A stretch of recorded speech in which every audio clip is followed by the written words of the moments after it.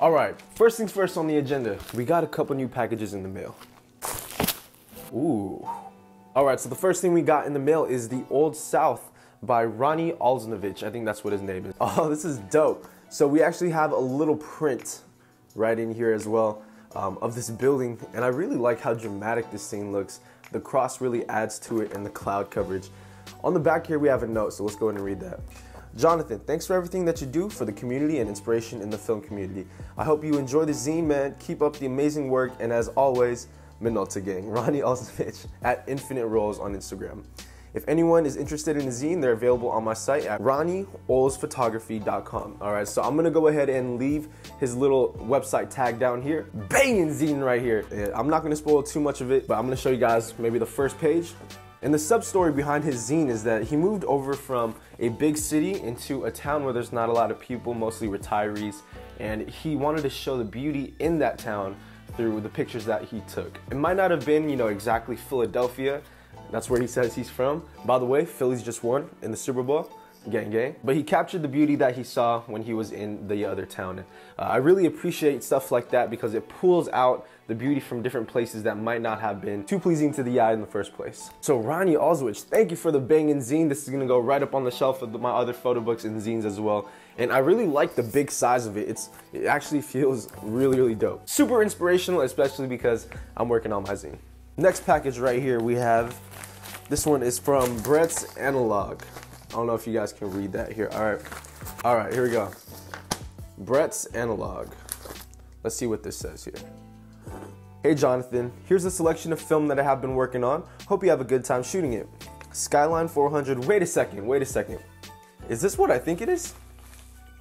Holy shit. So, this guy actually hit me up on Instagram. His, his Instagram is Brett's Analog and he said he has some films that he wanted to send over and he makes his own film and he wanted me to try out so he sent over I believe a couple rolls of film here. I'm just going to continue to read on here. Skyline 400, this is the first of the lineup and the film you will be most familiar with. It is much like HP5 or SFX and should do well for street photography. You should be able to develop it just like any ISO 400 black and white film, so no problems here. This is the film that I messaged you about and it's one of those that I think is in a faulty canister, so there may be one or two light leaks. As you can see, I also made a custom label for you. Ooh, check that out, you guys. Check that out. That is dope. So it says Skyline 400, and then it says 36 exposure. And then if you look at, wait a second. What?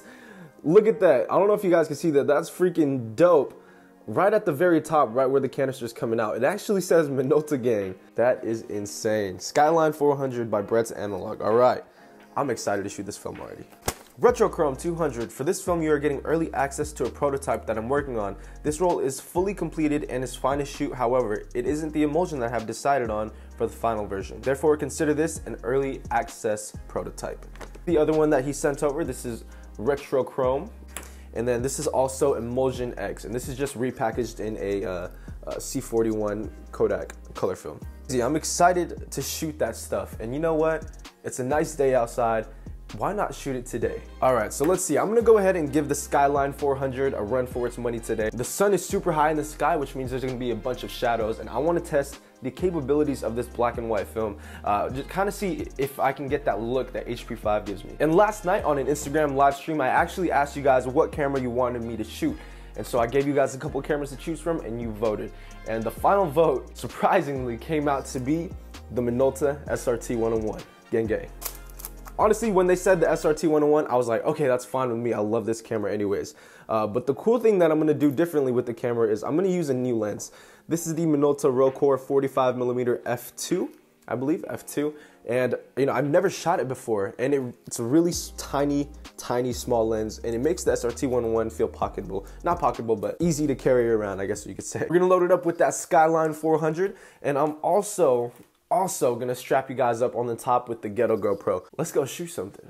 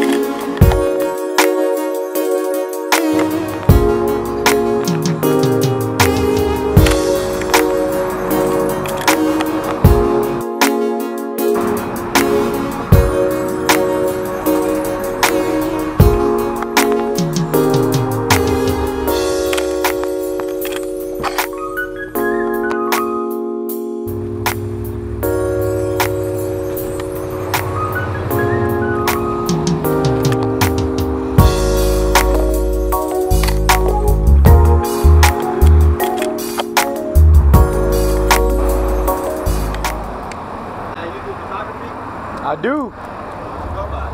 King Japes. You got a card? I do.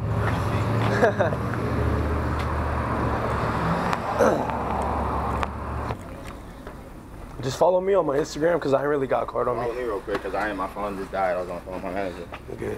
And shit, we got a little shop down the street, Ponchos. We doing all the re fucking making it crack. We're trying to have I like, heard the about West that, Coast yeah. customs of the Bay. I go by Cali boy though, bro. For sure. You guys want to do a shoot?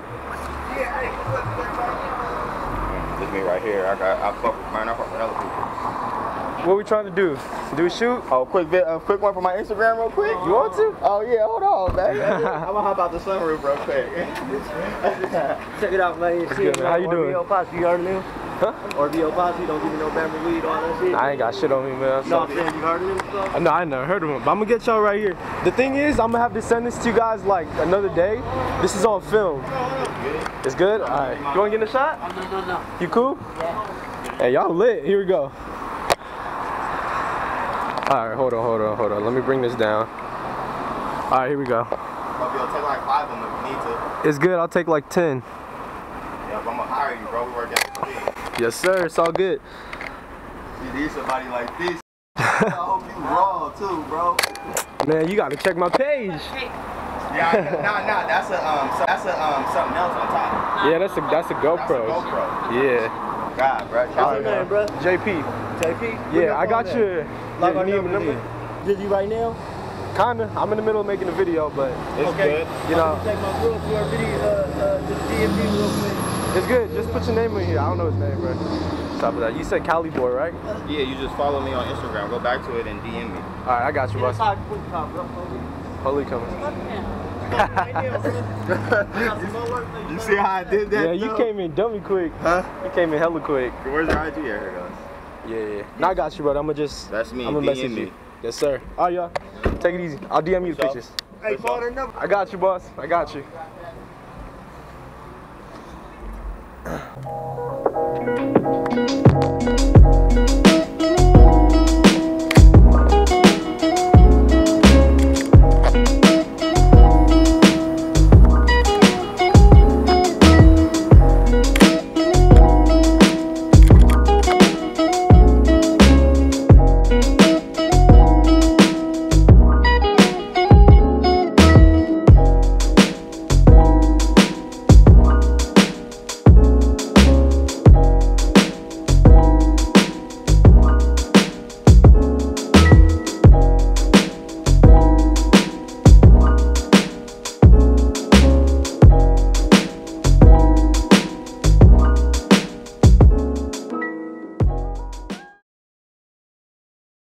So we're about to just go ahead and develop the roll of Skyline 400. Uh, Brett actually said I can develop this in black and white chemical, so that's what I'm gonna do. Um, I don't have any more D76, so I'm gonna go ahead and uh, develop this in some new developer, uh, which I'll show you guys when we get to it. I'm gonna use this Kodak HC110. I've used it once before. Uh, props to Leo Avila, by the way, for sending this over. But uh, because I'm developing two rolls, this one takes about like 500.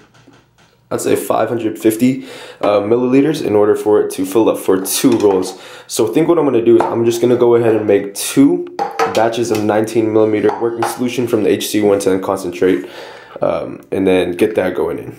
Instagram live stream, start. This is how you develop right here. You got Migos playing.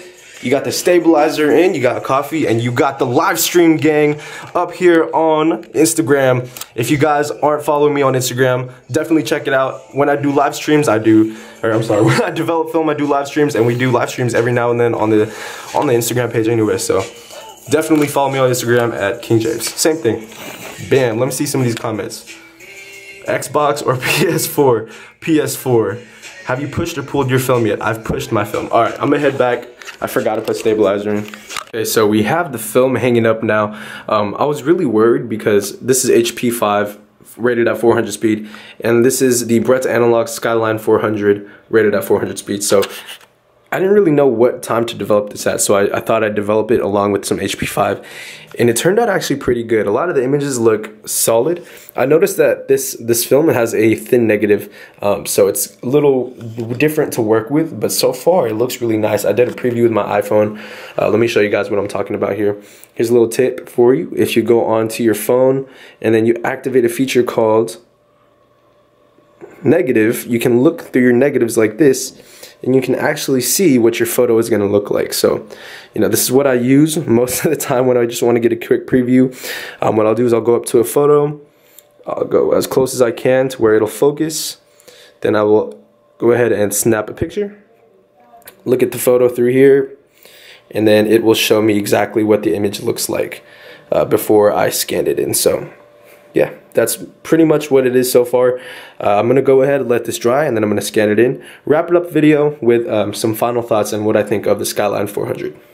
All right, you guys, so we have the film developed and scanned. And I want to take a second really quick just to talk about my first impressions and kind of like a review on what I think of the Skyline 400 film from Brett's Analog. Now, first and foremost, if you guys see on here, it says Skyline 400. What's dope about it, it says my name on there, but um, it says here C41 black and white. I talked to Brett about it and he said it was a typo. This film right here can actually be developed in any black and white chemical. D76, HC110, you name it. so that's automatically a plus because you won't have to buy separate C41 chemicals unless you already have them um, in order to develop this film. Now, something that Brett mentioned to me was that there was going to be a couple of light leaks and I've seen them, but they were very slight and very tiny. Uh, didn't really make an issue to the photos at all, uh, just the bottom of the frame. Uh, but what he did mention was that this film should be very familiar to me because it acts almost just like any black and white street photography film. And you guys know I'm a huge fan of Ilford HP5, and so I'm gonna go ahead and use HP5 as a basis uh, for what I like and for what I know, and then compare that over to the Skyline 400. Now, unfortunately, when I went out to shoot with the film, I wasn't in the groove. You guys know that there's certain days where you can go out, see some stuff, take images and have them come out really nice. You know, you feel the groove, you're in the groove, you're in the mindset, and you're completely there, you're focused in. But the time that I was shooting the Skyline 400, for some reason, I really wasn't feeling it. It wasn't the film, it wasn't the camera at all. I feel like I was just tired or I just felt so uninspired that day. And so I ended up finding myself shooting stuff like uh, storefronts, shadows, uh, random people that asked for pictures on the street. Uh, and it was pretty fun, but you know, I didn't really get to have my full creative artistic freedom on the film, which is a shame because, you know, I feel like I should have provided the best that I can for the film. But while I was out there shooting, you know, I told myself, if I can't make images, if I can't make images that I like, I might as well make images that can show the strengths and some of the weaknesses of the film. And so that's exactly what I did. I went out there and I purposely shot a lot of highlight stuff, shot a lot of shadows. I shot people, I shot buildings, and I tried to get every type of subject matter that I can in there just to see really how the 400, Skyline 400 I should say, performs. So for starters, it's a 400 speed film, which is great because it's versatile. You can use it in daylight, you can use it um, when the sun comes down a little bit. And I'm not sure how this would turn out if you pushed it. I'm sure you'd get more contrast, uh, but I'm pretty sure you can you can definitely push this film. So I like how it's a 400 speed film. It's a versatile ISO. The second thing that you should know is if you develop your own film, know that Skyline 400 has a really thin negative. If you've ever shot HP5, HP5 has a nice thick negative. You know, this stuff is pretty thin, and so if you get your film developed at a lab or you have somebody else do it, it's not going to be too big of an issue for you. Uh, but just know if you develop your own film, this film has a very thin uh, film base. Now, when it comes down to how the images turned out, I have one word and one word in particular that I think really fits the characteristics of this film. That word is grit, and I say that strong with a passion and with a lot of meaning because this film has a lot of grit to it. I think it's the grain. The grain is enriched, and so it's not like HP5 where it's super fine grain until you push it you know, at 400 speed, you're already seeing some grain. And I absolutely love that. It might not be the look for everybody, but it's definitely a look for people who do photojournalism or uh, street photography that like that really gritty, grainy look to their photos. That's personally one of my favorite characteristics when it comes down to this film. Now, other than that, you can pretty much expect this film to be like a lot of the other black and white films out there. Um, I probably wouldn't compare this to HP5. Instead, I compare it to something like Kentmere 400. You know, it's super dope that people out there, Brett's Analog in particular, are creating films and that people are doing their own things, uh, creating their own brands. And it's amazing to see that type of stuff because, you know, with the resurgence of film photography, a lot of those film stocks are coming off the shelf aka Fuji. But in all reality, you know, it's cool to see that people are creating new films and I 100% support that. You know, if you guys are putting new film stuff out there, let me know. I will do a review on it on this channel and Brett's Analog, I just want to say thank you again for letting me shoot the Skyline 400. So my final verdict is that it's a really dope film, but you have to keep some of these things in consideration. One, the thin negatives. And number two, the grit and the grain. So if that's your thing, Skyline 400 will definitely be a good fit for you. Other than that, it's not too big of a difference from HP5. Um, like I said, it's very comparable to Kentmere 400. If you never shot that before, highly recommend you guys try to shoot that. But this film right here, it is a banger. So if you guys want to pick yourself up a roll of this stuff, go hit up Brett's.analog on Instagram. I will go ahead and leave his little tag here. Um, definitely hit him up. Just want to say thank you again, Brett, for giving me the opportunity to test out this film. So that's going to wrap it up, you guys. I hope you enjoyed this video. I know it was a little sloppy and a little here and there. I've just been really tired and caught up with getting photos for the zine. And so I hope you guys understand. I hope you guys enjoyed the video regardless. Um, and as always, you guys know what this is, right? Minolta Gang.